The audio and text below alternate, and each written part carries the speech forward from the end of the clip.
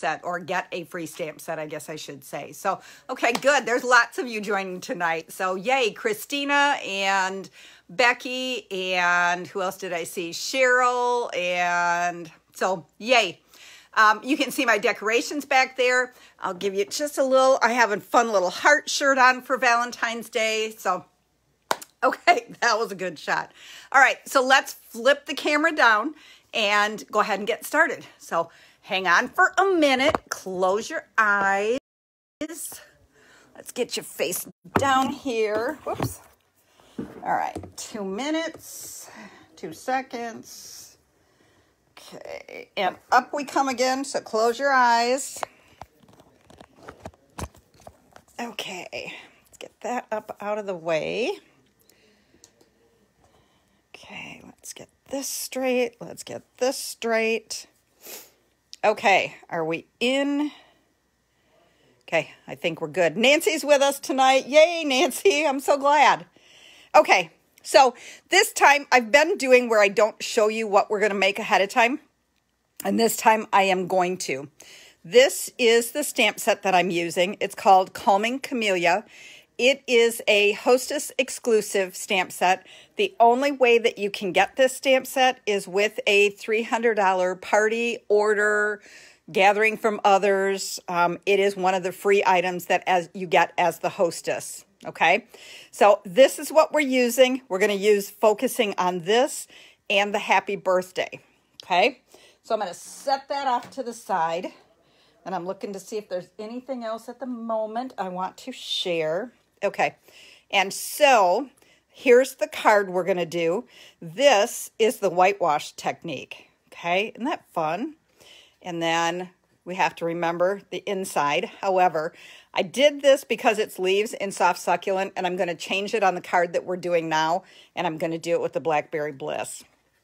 And then of course we want to decorate our envelope also. Okay, so to do this, we are starting with a piece of rich razzleberry that is three and seven eighths by five and an eighth. And we're going to pull in this great big stamp out of the Calming Camellia and Blackberry Bliss ink. Okay. And so, happy Galentine's Day to you too, Helen. Okay, so we're going to ink it all up good. And then I'm going to start by stamping it up in the corner, the left corner, with the stem kind of in the center. Okay, and we're going to make sure that we press it down good. It's one of Annie's all-time favorites. It's Roseanne's all-time favorite color. I haven't used it in a while. Okay, and then we're going to ink it up again. And we're going to stamp it down in the bottom corner. The center, the stem will overlap, but that's okay because most of that center section will get covered up with our greeting. Okay, just making sure it's all stamped good. Beautiful. Okay. And then the next thing we're going to do is we're going to bring in a clear block and the Whisper White Craft Ink. Okay. This is ooh, super thick ink that's kind of sort of like a paint. It takes a little bit to dry compared to the regular inks. And so what I'm going to do is I'm just going to take this clear block. I don't want to pull color off from the stamp pad because it will start to turn colors. So I'm just going to squish my clear block onto it to pull some ink up onto it. And then I'm going to close this so I don't get anything else in it. And then we're going to pull in a blender pen. When's the last time I used one of these, right? Okay. And then, now I'm going to kind of have to sit, I think, to do this. So hopefully you can still hear me also. Okay, so we are going to just pick up some color and then we are just going to color our flowers. And we're just going to kind of drag and pull that in. And then we're just going to continue on to the next little leaf. Now it starts out a little darker than what you're maybe wanting, but then it blends right down into the cardstock. So as you can see already, some of the areas start to lighten up a little bit more. Okay, and we're gonna go a little heavier down here.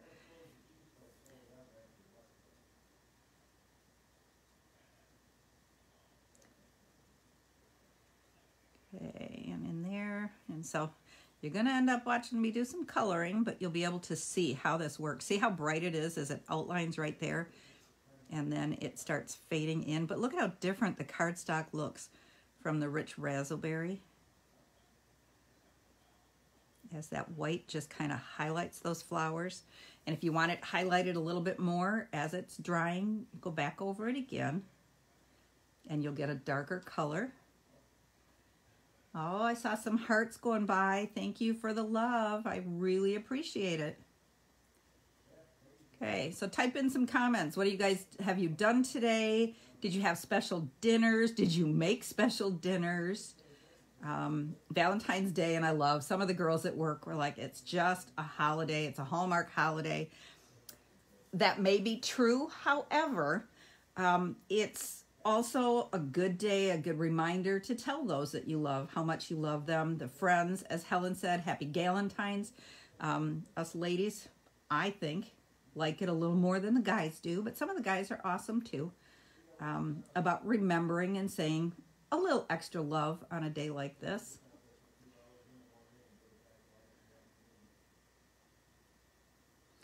Okay. Um, Nancy said she saw somebody do this last week. There were a couple of demonstrators, and I don't know for sure which stamp set that they used. Um, uh, Mary Deatherage, I just saw a video by her. She might have used this one.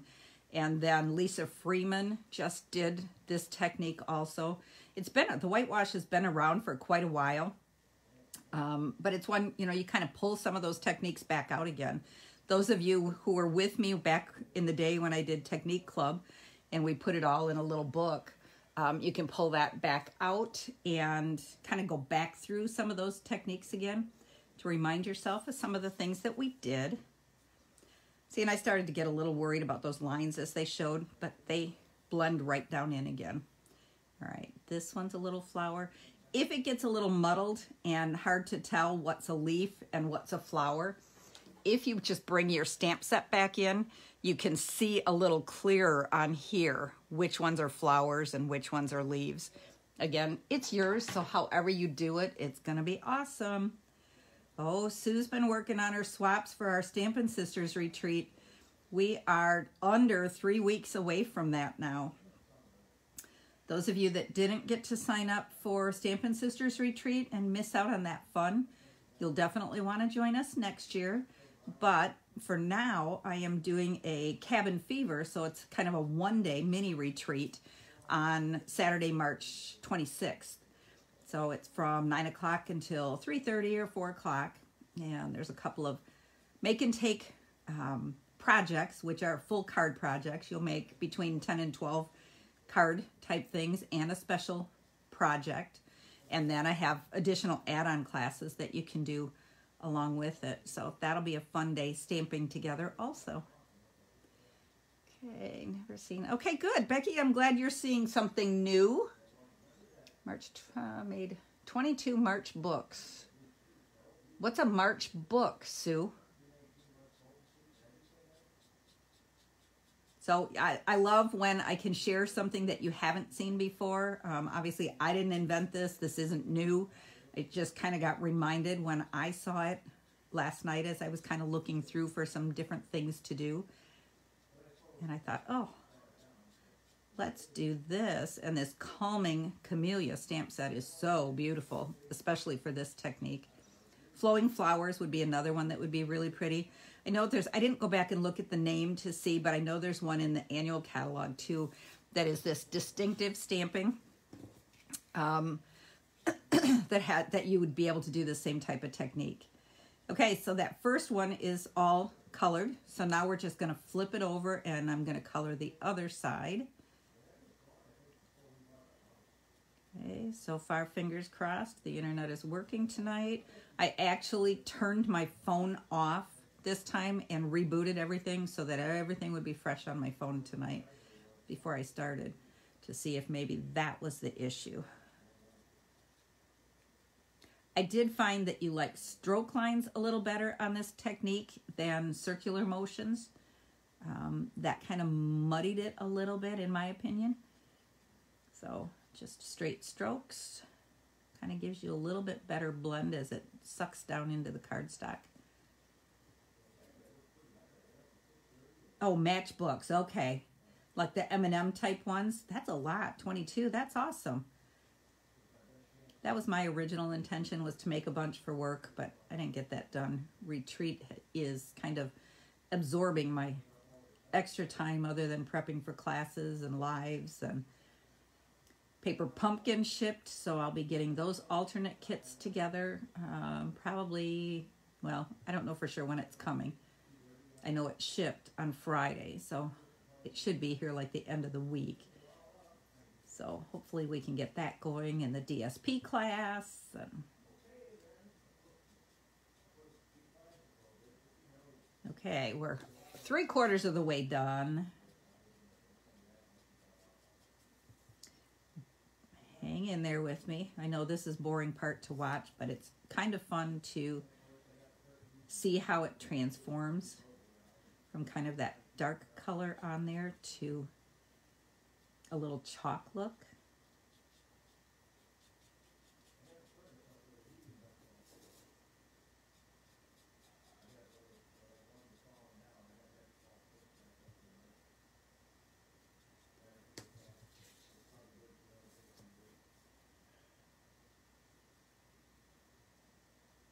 All right, we're almost there. tried to watch to see what kind of things you guys did today.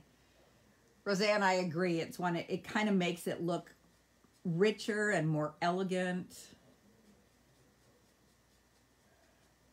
Kind of like an artist, which I am the furthest thing from. But this is one of those techniques that makes it look like you're really a fabulous artist.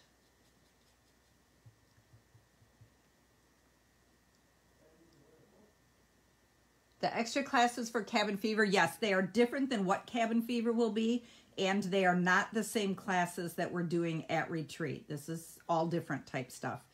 So the basic make and takes for cabin fever, everybody who signs up will be making those two project sets and the special project. And then the additional classes are just additional things that you can make while you're there, or you can take them home as a kit to go to finish at home when you have more time. Um, one of the things I'm really excited about, one of the projects, and I'm going to have to try to do like a sample so that you see, is a loaded envelope. This is really, really cool. It's kind of like a little gift bag. Um, so it's a great Mother's Day type gift, um, definitely birthday present things. Okay, so we are all colored. Now with my blender pen, I'm just rubbing off the rest of the white ink that's on there. Let's get this, okay, and clean it off quick before it gets all over everything. So I just have a piece of paper towel. And first I'm going to wipe that off. And it gets kind of gross. So once I got most of the ink off that way, hand sanitizer is not only good for your hands, it's also fabulous for cleaning ink and goo off from your stamps and things. Okay, so just a little bit of hand sanitizer and it cleans my block right off. Isn't that awesome? All right, so now, okay, so now we're gonna build our card. Look at how pretty that is. Now, again, because it's craft ink, it does take a little bit to dry, but you're not using a lot. It's not real heavy, so it's not too bad, and we're able to work with it. Okay, so I have a piece of thick basic white, eight and a half by five and a half, scored at four and a quarter, our normal base. Okay, then I have a piece of Blackberry Bliss that is four by five and a quarter. And we're just going to put some adhesive on that and center that onto our basic white card base. And then we're going to put our rich razzleberry right on top of that. And again, it's only an eighth of an inch smaller, so it gives us just a small little border. But that darkness underneath just kind of makes it all pop a little bit more. Okay, then scoot that to the side. I have a piece of basic white that is three quarters by three and seven eighths. And so we're going to pull that Blackberry Bliss back in. And we are stamping Happy Birthday, which again is from the Calming Camellia stamp set. And we're just going to stamp that in the center or about in the center. Okay. And then, let's see, we're going to adhere that onto a piece of Blackberry Bliss that is 7 eighths of an inch by 4 inches. And then we're going to attach it to our card front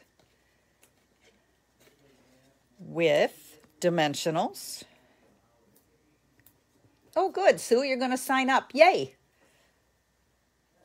Bring some friends down with you, too. Okay, so there's our center with the flower with the stems. And this is going to go right across it so you can't even see it. And I want to take that up just a little bit. Okay. And now I didn't like this little white extra. Oh, and before I did that, I should have shown you too. I also didn't like this part just being plain, but I didn't want to put it back through the embossing folder with the white that's already painted on there. So I pulled in a second stamp set, Lucky You, and I used, let's see, these two little dots. And so I used the Blackberry Bliss, and I just, not completely filled, but just added some random splots because the edges around here, you kind of get that same look. And so I just kind of filled in here and there. That wasn't quite enough, so then I used just the little dots to pop in a few more. Try to get in there. Actually, that's pretty good. That just filled in that space a little bit better, which I like. Okay, and can you see that well? It's dark in the picture. Let's bring it up a little closer. Okay, so then you can see those splotches just kind of fill in that area. All right, and then I didn't like this white area, so I pulled in my pearls and the dark Blackberry Bliss marker or a Stampin' Blend. And then we're going to scoot those so that we can color them.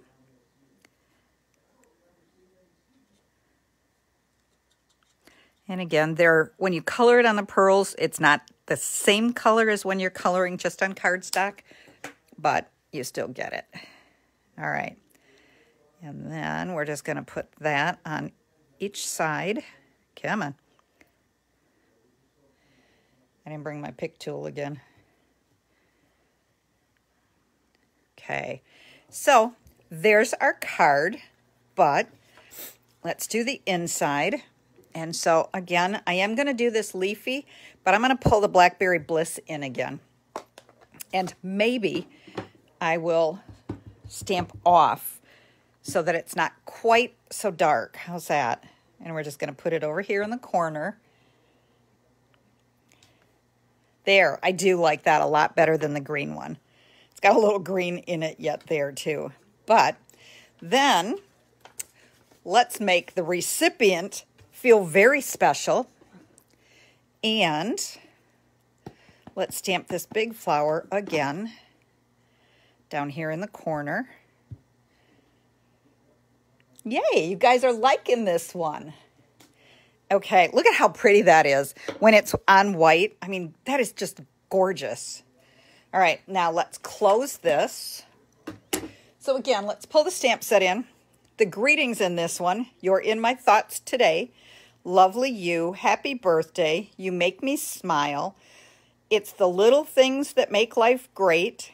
And I love being your friend. I mean, those are all fabulous sayings and greetings to put in your cards, on your cards. Um, write your little note on the inside. I mean, that is just so pretty, right? Okay, so one lucky person I will pull out of the comments tonight and the shares, and I will mail this card to you. Um, with the black, the leaves looked, yes. The green with the blackberry for the leaves looked really nice. You like that one better, Cheryl? Okay, so there we have the green inside. We have the uh, Blackberry Bliss inside. But you could even take on here and you could color it in with your markers instead to be able to get some green there too. But okay, so I will mail this card to one lucky person. And what I will do is I will put this in just like this with no note or anything on it so that you then have the card to be able to mail to someone. Okay. And then my little special deal. Here's the host code we have going yet. Okay. And any orders, $35 or higher, placed between now and Friday night, I will do a drawing for this stamp set and I will mail this to one lucky person. Linda says, pick me, pick me. Okay, so again, any orders placed tonight through Friday night, then Saturday I will draw a name and post and email that person. And I will mail out. I have an extra one of these right over here, I believe. Yes. There it is. That's a brand new one, not used at all okay? And I will mail this out to one lucky person. So, again, remind everybody on YouTube, if you subscribe, you will get reminders when I post. I will post this on YouTube. I will also have it, it'll post up on Facebook later so that those who couldn't watch us live can watch it later. But